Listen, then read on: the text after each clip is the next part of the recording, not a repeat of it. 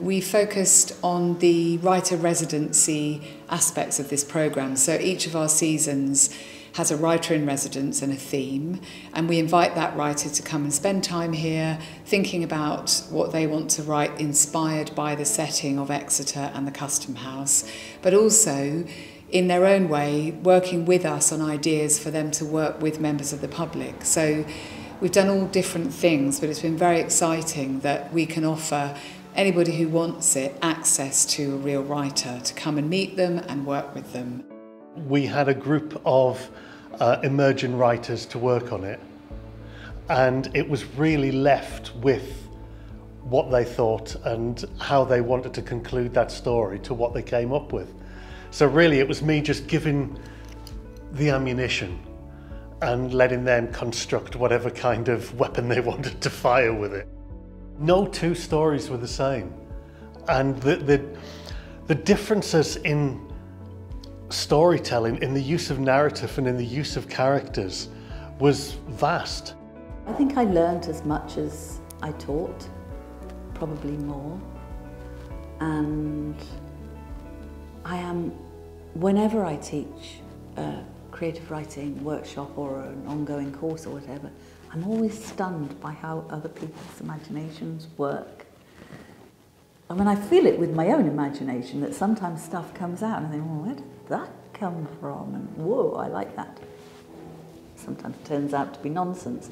But to see other people do it, especially with like timed tasks, and there were a couple of tasks that were so fruitful in terms of stimulating people's imagination that I use them myself now. And one of them, a brilliant one that I hadn't ever used before, was give people last lines. And then you have got half an hour to write the story that this is the last line of. And people, you know, three people sitting next to each other and then sharing their stories and they'd all chosen the same last line and had totally different things to say. It is joyous to, to observe the, the, that blossoming, I think. The truth is, I think, that when you write, you have to make this huge leap we call it of imagination, but I'm not even sure it's that. You make a great leap into a world where there are people that you are inventing, places that you are inventing, but of course they're not inventions. They, they come from your memories, they come from events that have happened, and so you're mixing up this extraordinary connection between truth and reality, and important truths too. The, the notion that somehow truth is in history and not in fiction is nonsense. It's in both, and it's really important, I think, for young people at a very, very young age, and some of these are really young. They do not know how young they are until they get to 77, I promise you. And the truth is that if you find a voice as a writer when you're quite young, and you find the confidence to write, then it'll come.